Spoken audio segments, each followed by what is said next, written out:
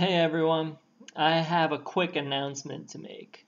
I'm releasing a new online course next Monday, November 28th, and this course is called Primal Release. And this topic of release is so important. It is so crucial to all of our well being. It really is.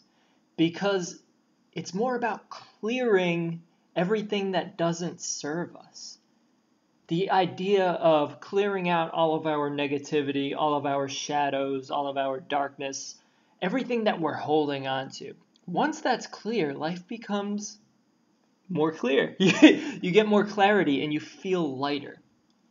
And this practice is so important of releasing all of this baggage we're holding on to because this society that we live in it creates so much accumulation of baggage of trauma of beliefs and things like that we're holding on to so much and we suppress so much as well because it's not really socially acceptable for us to sing and dance in public and freely express ourselves on a regular basis.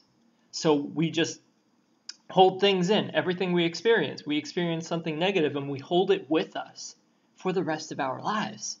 So that creates so much disharmony. It creates emotional disharmony, even physical disharmony.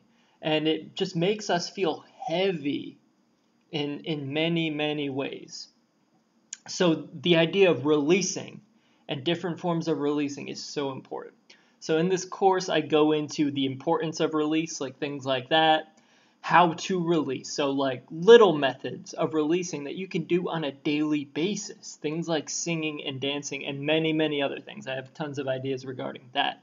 And then what we can learn from animals and children, how they're wiser than us smart, mature adults in many ways, so we can learn from them as well.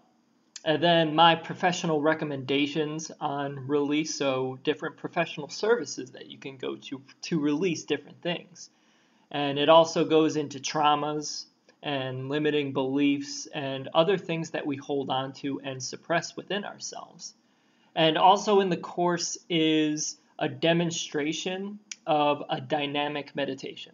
So I do a tutorial, I have a tutorial video for it as well on Osho's dynamic meditation. So I explain it step by step and give you tips on how to do it. And I also provide a music mix to go along with that meditation that you can do. It's a dynamic meditation, so you release a lot before you go into the stillness. And it's one of the best forms of release, in my opinion.